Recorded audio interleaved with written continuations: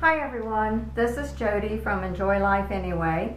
Today I'm going to be showing you how to make fabric strips from a bed sheet. These strips of course can be used um, in crocheting and knitting projects. This particular sheet is going to be used to make a crocheted rag rug. Now the first thing we're going to do is fold the sheet.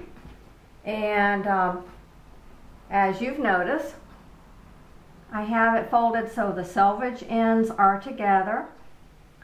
Then you're going to fold it up one more time, just like this. So we've got the selvage ends here.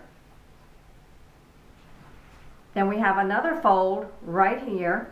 But you'll notice the fold here is going to come up not quite to this edge. You want about four inches or so right here and I'll show you why in a minute. Now, the things you're going to need to do this is um, a sharp pair of scissors and a sheet. Now, optional things that you can use, and I like to use, are a um, roller cutter, like this one, a rotary cutter. This one will cut through several layers of fabric all at once.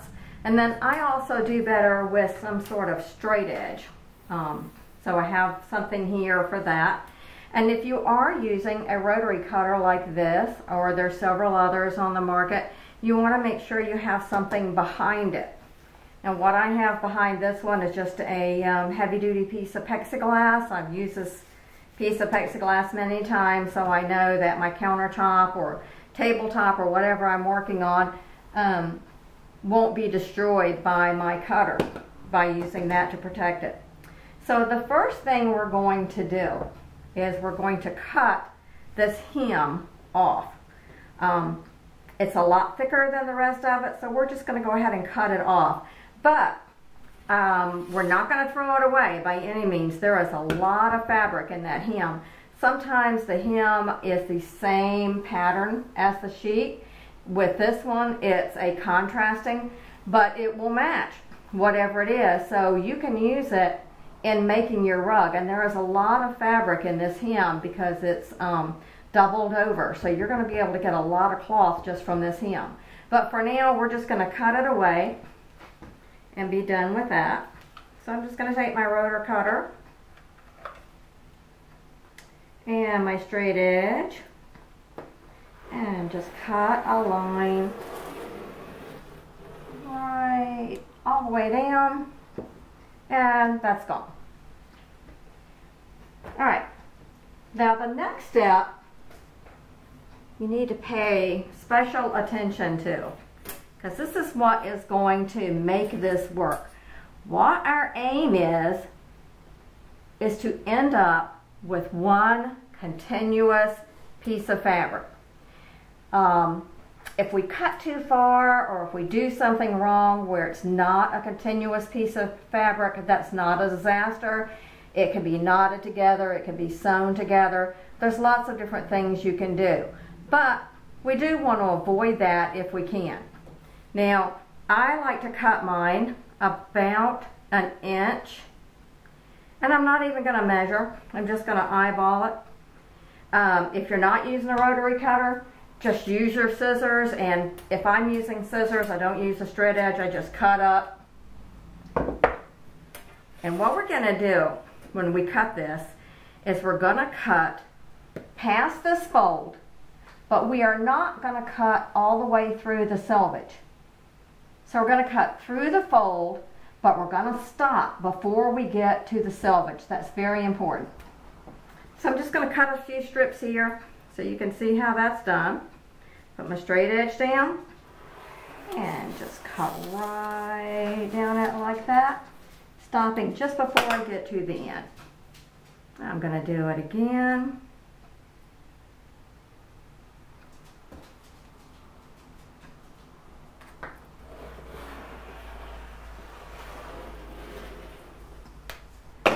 Stopping just before I get to the end. This one didn't cut all the way through right there. So I'm just going to snip that.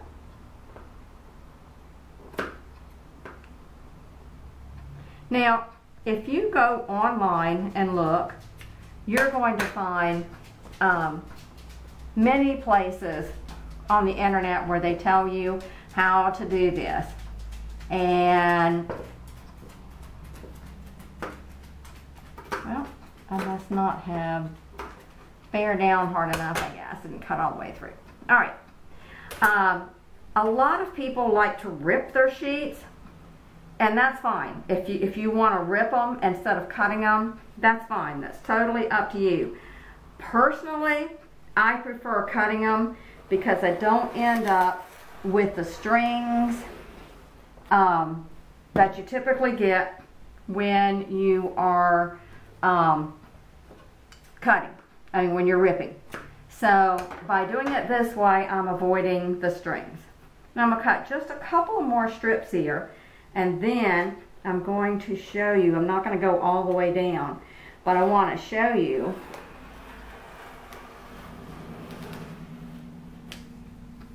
how this is going to work.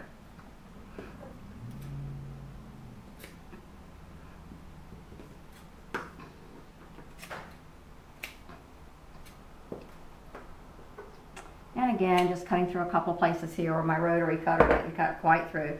Always put your uh, protective cover back on there and that little snap just then did that for me. All right. This is what you're going to do. You're going to take your top layer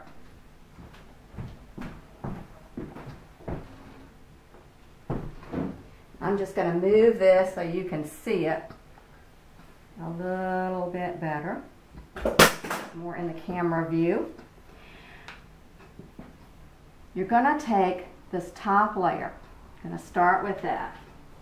And you are going to cut off completely one strip of fabric. You can just make a cut right there. You're cutting off one strip of fabric. Continuing with that same top layer, the next thing you're going to do is skip one and cut the next one. You see what I did there? Skipped one and cut one. Now on, and you would continue on down uh, cutting every other one all the way down.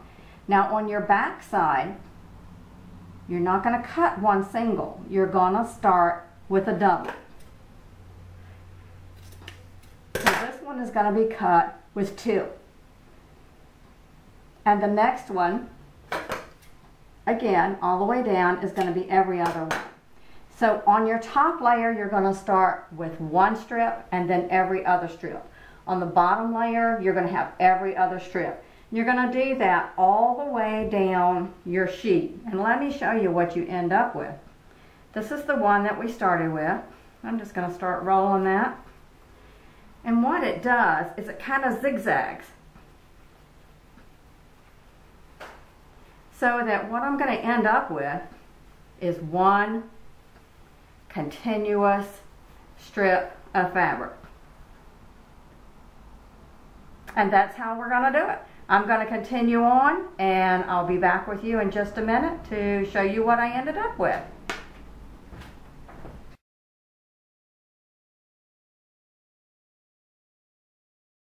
Uh, and that's it. You're done. This is the hardest um, and least enjoyable part of the whole process for me. Um, it would be really nice if I could stand here long enough to, to go ahead and do two or three sheets at a time. Um, but usually I'll just do one sheet and then I'll quit and later on come back and do another sheet. I still have this top hem and I'm going to um, also cut it and use it for strips um, because it does match. And I'm thinking that what I might do with this rag rug is actually use the solid color right in the middle and then start this on the outside. I'm not sure yet. Um, so I'm going to come back and cut that later, but that's just the flat sheet. And uh, hopefully I'll do some more videos. I'll show you how to do a fitted sheet, um, which is basically the same process, but it is a little more tricky. Remember your pillowcases can also be used. Um, I don't know how many yards I have here, but I did measure a single flat sheet one time and I ended up with about 177 yards. So if that helps you any um, in planning your projects, um, you want to have at least two or three sheets done uh, before um, uh, doing your rug. Uh, coordinating colors, I have this, uh, have this little bit of tan nail that I can use. I also have a solid brown sheet that I think is going to do real well with this. Of course, you can just make one rug out of one uh, color, and that would be just fine. Um, I like to do kind of rows with different with different colors in it. But that's it for now. I hope you learned something that you could use, and we'll see you next time. Thank you for joining us. Again, this is Jody, and enjoy life anyway. Goodbye.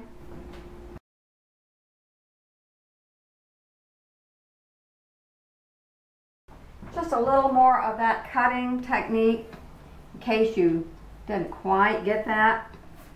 What you're going to do, you're going to take your rotor cutter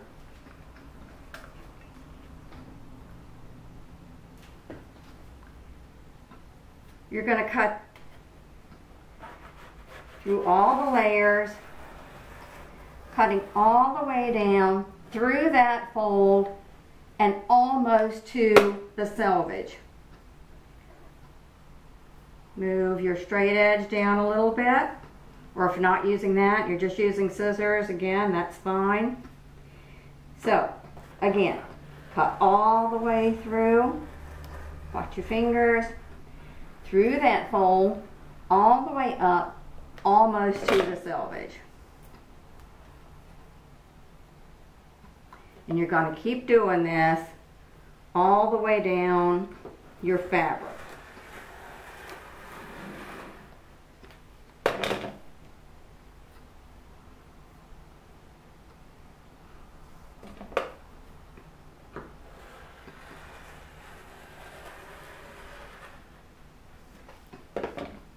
And again, if it doesn't cut all the way through, just come back with your scissors and snip those little pieces.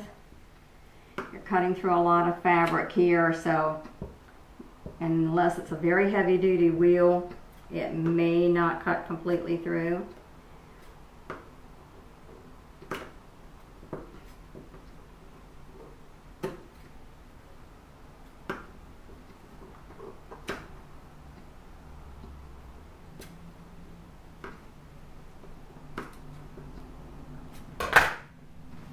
Just a couple more strips here.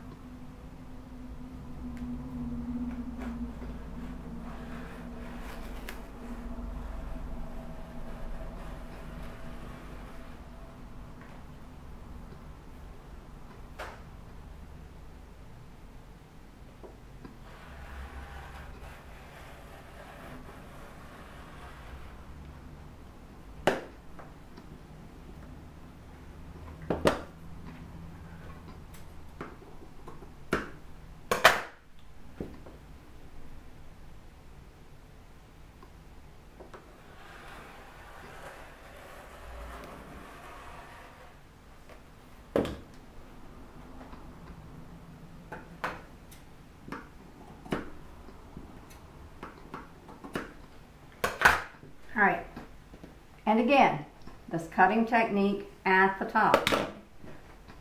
At this point, now we're going to be cutting every other one on the top and on the bottom. You remember in the beginning, we cut one off the top before we went to cutting every other one. Now we're going to cut every other one all the way down both sides. So, cut here, and you can see that I have two.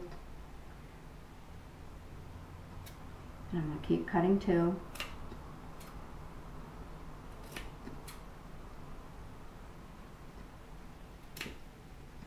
And also on the back, cutting every other one. Really doesn't take long. And like I said, I like this method because I don't end up with um, all the strings that you typically do when you tear. There are also other methods for cutting um, bed sheets.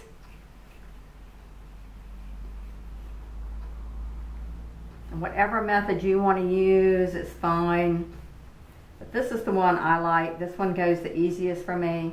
And there you have it, one continuous string.